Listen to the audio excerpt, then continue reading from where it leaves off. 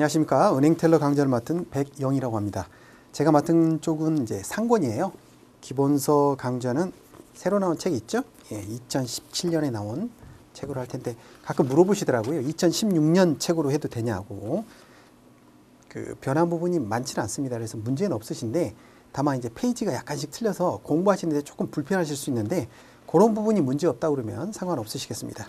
그리고 이제 제가 맡은 부분에서 이제 상중 학원 있잖아요. 은행 텔러. 상권은 이제 27문제가 나오고 그 다음에 이제 텔러의 어떤 그 기본의 상식에 관한 부분들, 간에 뭐 어, 경영 경제 상황이라든가 경제 상황이 있죠. 주로 거시 경제 쪽인데 그런 부분들 그리고 기본 법률들 이런 게 나오는데 나머지는 이제 CES 내부 통제 이게 이제 내부 통제 쪽에서 이제 새로 몇 년 전에 이제 출 그 추가가 되면서 앞쪽에 이제 그 경제 파트 이런 쪽이 좀 문제가 생각보다 좀 줄었어요. 그럼에도 불구하고 저는 이제 좀 이렇게 자세히 해드릴 텐데 그거는 그 기출 문제 그러니까 성적에는 좀 관계는 없을 수도 있는데 기본적인 그 텔러가 갖춰야 되는 어떤 기본 지식을 담고 있기 때문에 굉장히 좀 중요하다고 보거든요. 그래서 차근차근 다 이렇게 하나씩 밟아서 말씀드릴 거고요. 중건이 보면 이제 그때부터 창구 실무예요. 그러면 주로 은행에서 텔러가 하는 주로 이제 은행 기준이니까 아무래도 수신 업무를 제일 많이 하겠죠. 그래서 그쪽 파트가 많기 때문에 중건에서 한 42문제가 제일 많이 출제가 되죠. 그 다음에 학원은 이제 기타 부수나 겸용 업무들이 있어요. 그런 업무에 대한 거 31문제. 이렇게 해서 전체적으로 100문제.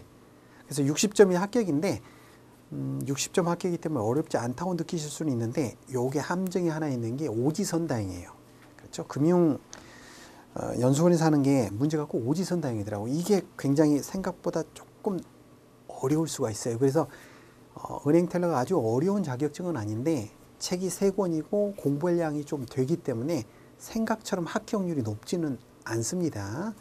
그래서 차근차근 해주시면 되고 또 이 강좌를 들으시는 분들이 보면 특성화고라든가 이런 데 계시는 학생 분들도 많이 계시기 때문에 용어가 좀 생소할 수가 있어요. 그런 부분만 좀 잘 극복하시면 그래서 제가 천천히 차근차근 쉽게 쉽게 여러분 합격시켜 드릴 테니까 잘 짜쳐보시면 돼요. 자, 이제 1장은 통화금리, 금융시장에 관한 거죠. 예, 통화는 무엇인가? 그리고 금리라는 게 알고 보면 통화의 값입니다. 가격인 거예요. 그래서 금리에 관한 것들, 그리고 이제 그 금융시장 관한 부분들 시작해 보도록 하겠습니다. 기본서 페이지가 5페이지죠. 예. 저는 먼저 이제 그 기본적인 내용을 어, 뼈대를 PPT로 잡아드리고 그 다음에 책에도 이렇게 필요한 부분 밑줄 긋도록 이렇게 해서 두 번에 걸쳐서 진행하는 방식으로 할게요. 자, 통화라는 게 무엇이냐? 쉽게 말하면 그 물건을 사거나 서비스 용역을 받았을 때 지불할 때 쓰는 것들이죠.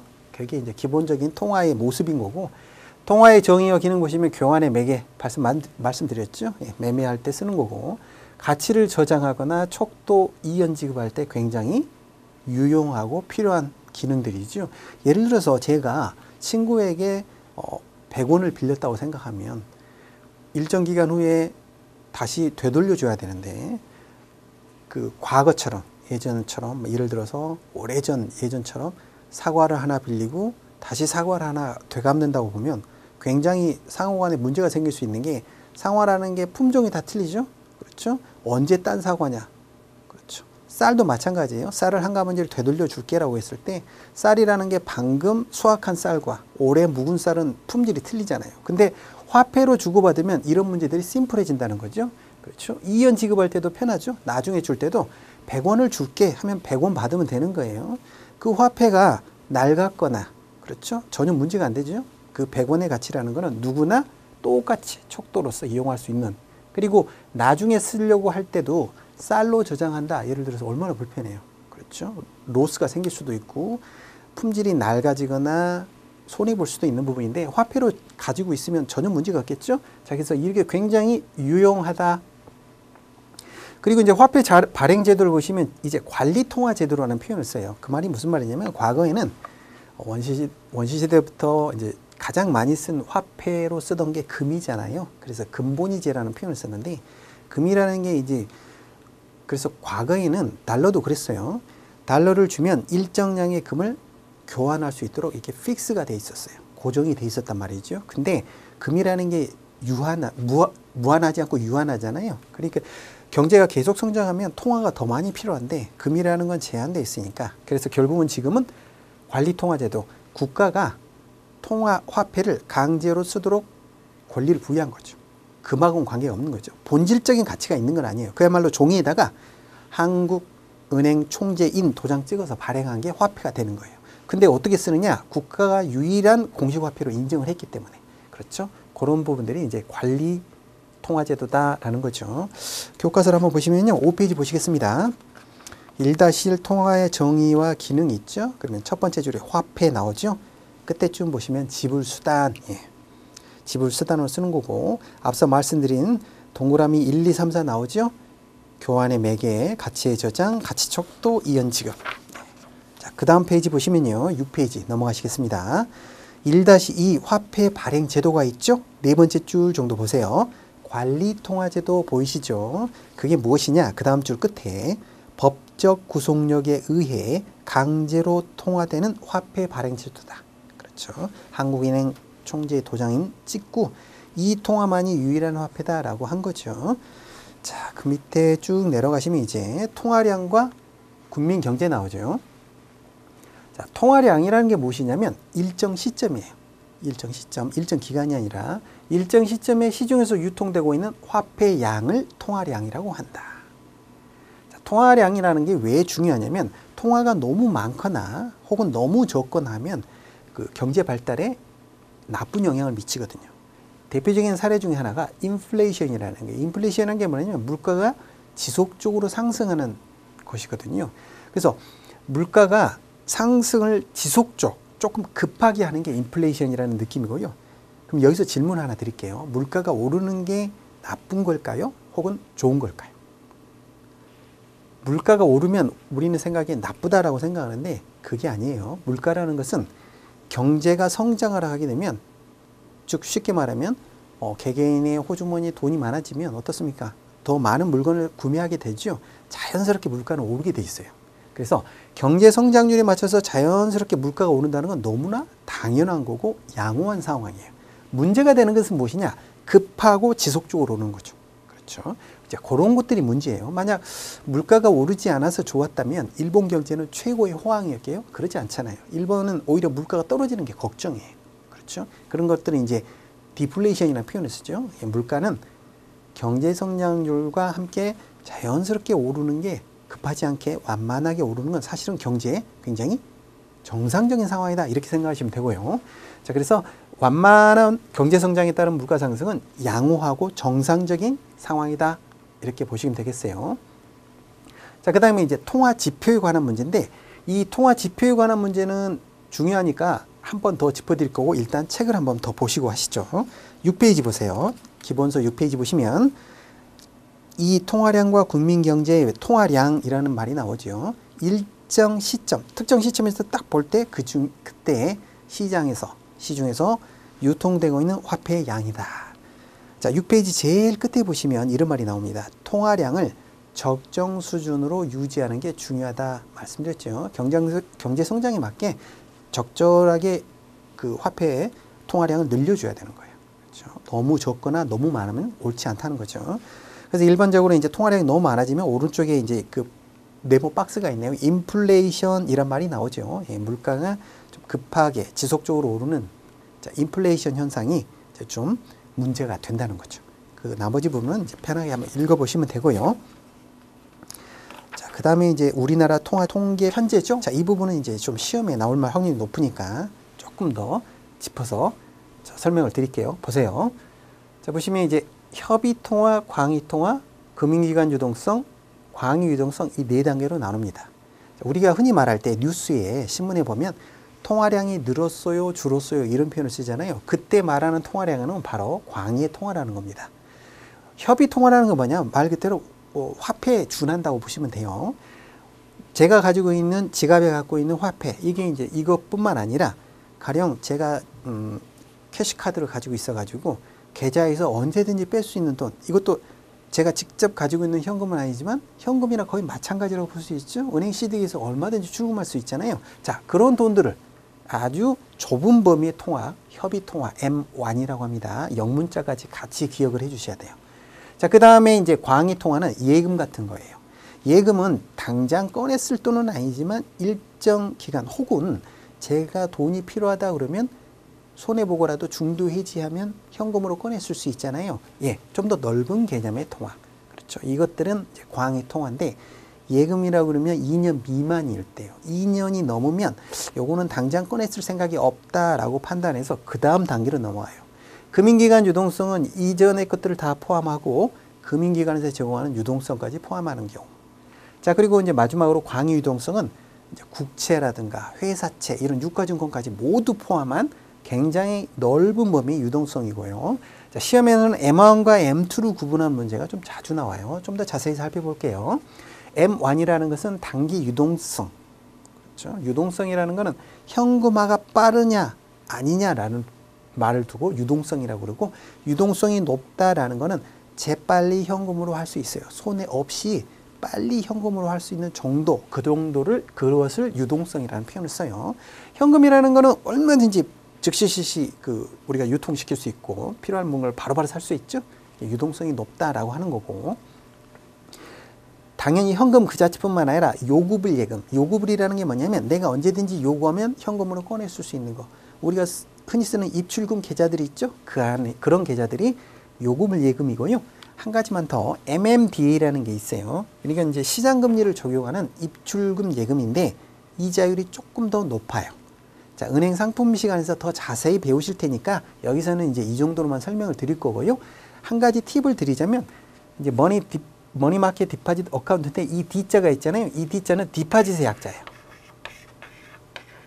그래서 이제 수많은 상품들이 영문명으로 나올 텐데 여러분이 이제 그, 어, 이게 무슨, 뭐지? 라는 생각이 들 때 D자가 있으면요. 은행 상품이구나. 이렇게 생각하시면 돼요. 왜냐면 디파짓이라는 단어는 은행에서만 주로 쓰거든요. 출금하다는 죠. 입금하다가 디파짓이라는 단어죠. 출금하다는 위드로. 참고로. 네. 요게 이제 M1이구나. 자, 그러면 M2는 이제 소위 말하는 시장에서 말하는 통화량이에요 라고 할 때는 이제 M2를 말하는 거예요. 광의, 광의의 통화. 자, 그러면 2년 이상의 금융상품은 빼고 정기예금, 적금. 자, 부금이라는 거는 이제 대출과 관련된 적금인데 적금이라고 생각하시면 돼요. 자, 요런 것들까지 포함하는 것들이 바로 자, 거기다가 이제 시장형 상품이라는 거는 어, 실세 금리, 시장에서 형성되는 금리를 좀 주는 거죠. 그러면 일, 반적인 어, 그냥 정기예금보다는 조금 수익률들이 높은 상품들이에요. 유가증권과 주로 관련이 돼 있는데 CD라든가 양도성 예금 증서 양도성 예금 증서가 뭔가요 하는 것들은 어, 상품 시간에 두 번째 그 중권에서 더 훨씬 자세히 나오니까 여기서는 이제 간단히 간단히만 말씀을 드릴게요. 자, 환매 조건부 채권 RP라고 해요. repurchase 다시 되간, 되사간다는 뜻이죠. 자, 환매 조건부 채권, 표지 어음, 발행 어음 등등. 자, 이런 주로 보면 한 3개월 정도짜리의 그 상품들이에요. 주로. 자, 이런 것들. 이런 것까지 포함하고 자, 보시면 실적 배당형 상품, 실적 배당형 상품은 이제 신탁 상품이나 대표적인 게 펀드, 펀드 같은 상품이에요. 자, 이런 것들에다가 금융채, 이것도 이제 2년 이내인 것들이에요. 금융기관이 발행한 채권들. 그 다음에 외화예금. 자, 요 부분만 조금 더 신경 쓰죠. 2017년에 책이 새로 들어오면서 거주자 외화예금이 M2에 포함된다고 따로 명기를 해놓고 있더라고요. 작년 책에 보면 외야 예금이 예금자 보호도 안 된다라고 오기 잘못 표기가 돼갖고 좀 문제가 됐는데 올해는 정정이 됐더라고요. 그러니까 어쨌든 제 느낌으로는 요 지문이 꼭 나올 것 같아요. 거주자 외야 예금이 어디에 들어간다고요? M2에 들어간다는 거 꼭 기억을 하세요. 자, 요 정도 M1과 M2 구별할 때 결정적인 포인트가 뭐였죠? 2년 요거까지 함께 꼭 기억을 하셔야 됩니다. 자, 그 다음에 금융기관 유동성은 금융기관이 공부하는 유동성이죠. 자, 만기 2년이 넘어가는 것들, 2년 이상은 이제 M, M2에서 금융기관 유동성으로 옮겨오는 거고요. 보시면 청약 증거금, 그 다음에 2년이 넘는 신탁, 보험 관련 계약 준비금, 보험이라는 게 장기적으로 운용이 되잖아요. 그 기간 동안 갖고 있는 것들, 그 다음에 고객이 투자하고 남은 주식 같은 거 하고 남을 때 예탁금들 이들이 있어요. 이런 것들. 자, 이런 것들이 이제 금융기관 유동성에 포함되고요. 마지막으로 이제 광의 유동성은 전체 유동성 거기 포함하는데 국채라든가 공채, 그 다음에 회사채 등 가장 넓은 범위의 광의 유동성이 되겠습니다. 책으로 한 번 더 살펴볼게요. 8페이지 보세요. 8페이지 표 아래 보시면 1M1 나오시죠? 예, 첫 번째 지급 결제 수단의 의미다. 그로부터 한 넷째 줄 내려가시면 요구불 예금 등 이렇죠. 입출금이 자유로운 예금이 요구불 예금이에요. 자, 그 밑에 칸에 보면 MMD에 보이시죠? 네, 시장 금리가 연동되는 수시 입출식 예금이다. 이런 표현이 있죠. MMDA. 시험에 잘 나오니까 기억하시고. 자, 오른쪽 9페이지 보세요. M2 보시면 이제 광의통화 나오죠? 시장, 시중의 통화량을 파악하는 지표고요. 세 번째 줄 아래 만기 2년 이상의 장기 금융상품은 제외라는 표현이 보이시죠? 자, 그로부터 세 번째 줄을 내려가시면요. 거주자 외화예금 보이세요? 네. 거주자 외화예금이 M2에 속한다는 거 한 번 더 체크하십시오. 자, 그 밑에 반가로 3번 금융기관 유동성이 있고 자, 2년 이상 정기예금이라든가 적금 이런 것들은 이제 금융기관 유동성 오고 자, 그 밑에 보시면 광의 유동성 있죠? 4. 네. 이건 뭐 기업보험 CP라고도 하는데 회사채, 기업보험도 어차피 기업이 발행하는 거거든요. 국공채 등 자, 이런 유가증권들이 포함되는 게 광의 유동성이다. 자, 그 다음에 이제 통화의 공급에 대해서 살펴보도록 하겠습니다. 자, 통화라는 게 이제 공급을 본원 통화라는 게 있죠. 네. 근본적으로 유통이 돼야 될 통화. 사실 어, 통화라는 게 한국은행 총재이 도장 딱 찍어서 만들어낸 거잖아요. 그렇죠? 무에서 유를 창조한 거예요. 그렇죠? 일단 통화가 밖으로 나오면 어떻습니까? 물건 사는데 얼마든지 쓸 수 있잖아요. 예, 그렇죠. 그래서 어, 본원 통화는 한국은행이 공급하게 되는 거고요. 예금은행이 대출 과정을 통해 자 무슨 말이 나왔어요? 신용 창조라는 말이었죠. 예, 이 말이 무슨 말이냐면 어, 뒤에 한 번 더 나오긴 할 텐데요. 이렇게 생각하시면 돼요. 제가 다른 사람에게 제가 가지고 있는 100원을 그대로 줬다고 보세요. 화폐가 더 늘어날 건 없죠. 자, 근데 어떤 문제가 생기냐면요. 제가 받은 돈을 은행에 예금을 해요. 그러면요. 그 기본적으로 비상시를 대비해서 일부는 남겨두고 나머지만 은행에서는 대출할 수가 있어요. 은행은 예금을 그대로 갖고 있어서 돈 버는 게 아니죠. 어떻게 돈 벌어요? 그 받은 예금을 갖고 대출해 줘야 되죠. 그렇게 해서 돈 벌죠. 그럼 예를 들어서 100원의 돈을 제가 은행에 예금을 하게 되면요. 은행은 예를 들어서 지준이 10%라고 하면 10원은 남겨두고요. 90원 갖고 대출을 해줘요. 대출을 해줬으면 그 대출 받은 사람은 또 누군가에게 주겠죠. 예를 들어서 집을 사기 위해서 대출을 받았다. 그러면 집을 90원을 집을 사기 위해서 대출을 받았으면 90원을 집주인에게 줬겠죠. 예, 그렇죠. 매도자에게. 그럼 그러면 그 매도자는 어때요? 그 돈을 다시 자기도 통장에 넣어놓고 필요할 때 쓰겠죠. 90원이 또 예금이 들어온다는 거예요. 예금이 또 들어오면 은행 입장에서는 어떻게 하죠? 10%인 9원은 남겨놓고 나머지 81원을 대출할 수 있겠죠. 자 이렇게 단순히 주고받으면 늘어날 게 없는데 대출 과정을 통해서는 이렇게 계속 늘어나게 된다는 거예요. 통화가. 요게 바로 신용 창조 과정이에요. 자 이런 걸 통해서 실제 100원을 발행하는데요. 음, 대충 보면 한 15배에서 한 20배 정도로 늘어나요. 실제 유통되는 무슨 과정을 통해서 이런 신용 창조 과정을 통해서 즉 대출 과정을 통해서 자, 이렇게 해서 이제 실제 통화가 굉장히 늘어나게 되는구나. 한 번 더 말씀을 드릴 거고요. 자, 그리고 본원, 본원 통화라는 건 이제 처음 나오는 거죠. 중앙은행이 공급하는 겁니다. 자, 이 표가 좀 복잡하게 되어 있죠. 이 표가 이제 과거에는 시험이 좀 나왔는데 이쪽 부분 이제 출제 비중이 줄면서 어, 그 시험에 나올지는 않고 있어요. 요즘은. 그래서 여러분이 이제 공부하시는 데는 도움이 될 텐데 시, 제한된 시간 내에 공부하실 때는 요걸 다 외우시기는 조금 어려우실 거예요. 그냥 한번 보시고 이해만 하시면 될 것 같아요. 자, 보시면 이제 민간이 갖고 있는 현금 통화가 있을 거고요. 지급 준비금이라는 것을 남겨놔야 된다고 말씀드렸어요. 예, 중앙은행에 한국은행에 지급 준비금을 남겨놔야 되는데 그 지급 준비금이라는 것은 실제 한국은행 중앙은행의 지준 예치금으로 계좌에 들어있는 돈과 은행에서 쓰기 위해서 현금이 가지고 있어야 되죠. 우리도 왜 음, 예를 들어서 편의점이다. 그럼 편의점 아침에 시작할 때 어떻게 해야 돼요? 기본 잔돈 바꿔줄 돈을 가지고 있어야 되죠. 그걸 시제금이라고 그러죠. 은행이 갖고 있는 시제금과 실제 중앙은행에 있는 예치금을 합쳐서 지급준비금으로 본다는 거죠. 그래서 예를 들어서 10%다 그러면 10%는 남겨놓고 하는 거죠. 실제로는 2에서 한 5%뭐 이 정도 많지는 않죠. 높지는. 자 그리고 이제 실제 이 시제금이 현금이죠. 화폐 발행액이 되는 거예요. 민간 현금 통화와 그 나머지 중앙은행, 한국은행 지준 예치금이다. 이 요거 틀만 그냥 이해만 하시면 되고 다 외우시기는 현실적으로 좀 어려울 수도 있어요. 자 그리고 보시면 이제 그 본원 통화를 기초로 해서 신용 창조로 통화가 더 늘어난다고 그랬죠. 얼마만큼 늘어나나요? 그걸 이제 통화 승수라고 그래요. 대략 보면 우리나라가 한 15배에서 한 20배 사이라고 보시면 돼요. 그러니까 100원을 통화를 찍어내잖아요. 한국은행에서 그러면 뭐 많게는 한 2천 원까지 유통이 된다는 거예요. 경제가 좀 활성화되면 요 배수가 좀 높아져요. 승수가. 그리고 경제가 아무래도 침체가 되면 돈 회전이 좀 더 줄어들겠죠. 예. 15배에서 20배. 과거에는 20배씩이 다 넘었었는데 요즘은 20배 이하로 떨어졌을 거예요. 자, 그래서 실제 통화량이라는 건 본원 통화에다가 통화 승수만큼 팽창해서 돌아다니게 된다. 좀 기본소에 오셔서 10페이지 보시겠어요? 4. 통화의 공급 4-1 개요 보시면 첫 번째 줄 본원 통화를 한국은행이 공급 화폐 발행하는 거죠. 혹은 예금은행이 대출을 통해서 신용 창조 과정을 통해서 유통되는 통화가 되겠죠. 자, 그래서 쭉 제일 제일 끝에 줄에 보시면 예금은행의 신용 창조 과정을 통해서 파생된 것과 본원 통화 이 둘을 합쳐서 통화량으로 한다.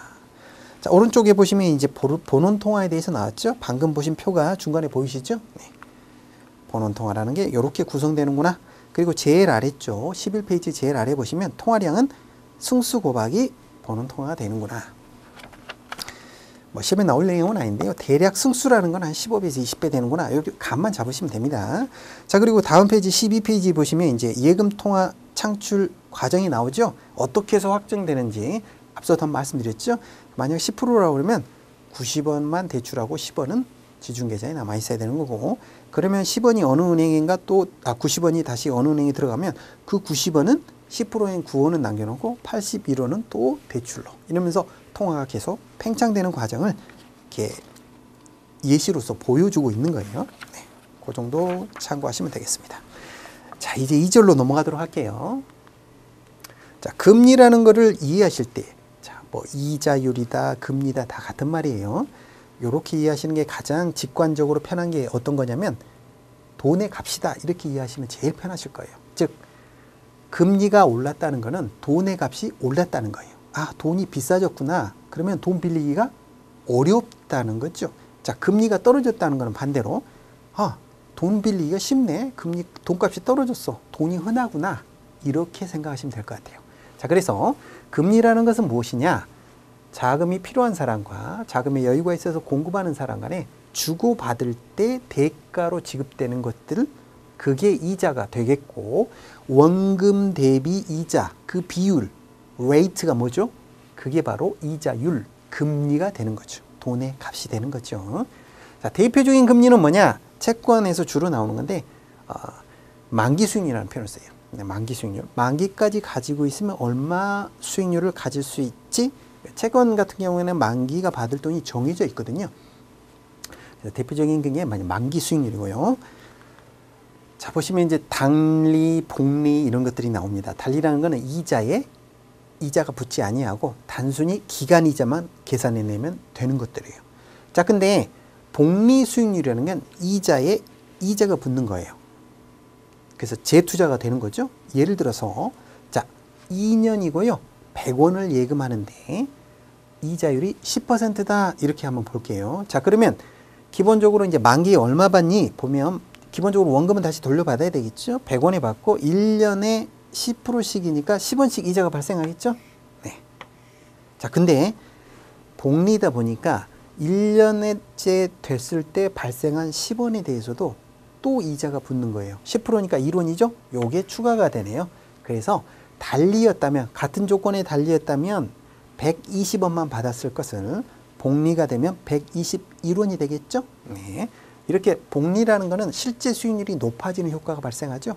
그래서 같은 수익률이라도 이게 복리가 되는 건지 복리가 되지 않는 건지 체크하는 게 중요하겠죠. 자, 우리는 이제 간단하게 연복리라고 했는데요. 이걸 이제 좀 복잡하게 되면 분기마다 복리 월마다 복리 이게 이제 계산식이 좀 더 복잡하게 될 수가 있어요.